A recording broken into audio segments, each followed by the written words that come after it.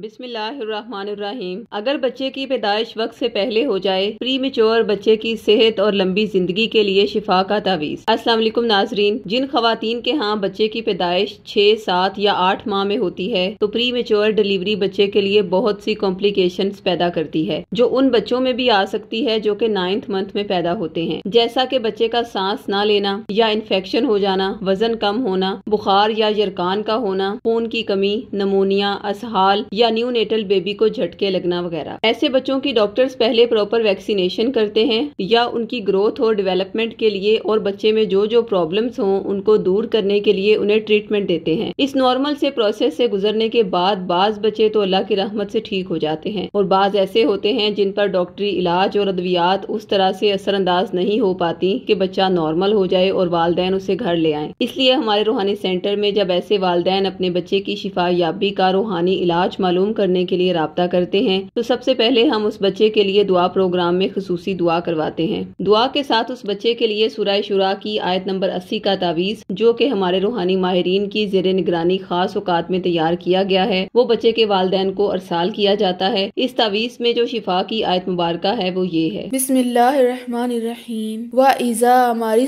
फहुआ यशफीन। तर्जुमा, और जब मैं बीमार होती हूँ तो वही मुझे शिफा देता है। नाजरीन वैसे तो ये नक्श अब तक बेशुमार प्री मेच्योर बच्चों के वालदेन ने हमारे रूहानी सेंटर से हासिल किया है। लेकिन आप ये सुनकर हैरान होंगे कि सुरह शुरा का ये नक्श एक बे औलाद मियाँ बीवी ने हमारे रूहानी माहरीन से अपने नाम इसलिए मनसूब करवा के हासिल किया कि उनके यहाँ तेरह साल से औलाद नहीं थी, जबकि डॉक्टर्स के मुताबिक उनकी सारी रिपोर्ट्स भी क्लियर थी। नाजरीन, ये चूँकि शिफा का नक्श है, इसलिए इसे जिसमानी, रूहानी और नफसियाती किसी भी मर्ज में मुबतला साइलिन हासिल कर सकते हैं। लिहाजा उन मियाँ बीवी ने इस यकीन के साथ साथ ये नक्श हासिल कर लिया कि शिफा तो अल्लाह की ज़ात ने देनी है। जब हर डॉक्टरी और रूहानी इलाज करवा के हम मायूस हो चुके हैं तो क्यों ना इस शिफा वाले नक्श का अमल भी करके देख लिया जाए। नाजरीन, ये खुदा ही का करम है कि सुरह शुरा की रूहानी तासीर ने उन्हें चौंका दिया, जब वो खातून ये नक्श लेने के चंद दिन बाद ही प्रेगनेंट हो गई। बेशक खुदा की ज़ात बड़ी बेनियाज है। नाजरीन, उस खातून की डिलीवरी सातवें महीने में ही हो गई, लेकिन उसके बच्चे का वज़न बहुत कम था। तमाम डॉक्टर्स उस बच्चे को देखकर हैरान भी थे और परेशान भी, क्योंकि क्योंकि उनके हॉस्पिटल में वो सबसे कम वज़न का बच्चा था और उसकी पैदाइश भी वक्त से पहले हो गई, मगर फिर भी उसके तमाम अजाब बिल्कुल ठीक काम कर रहे थे।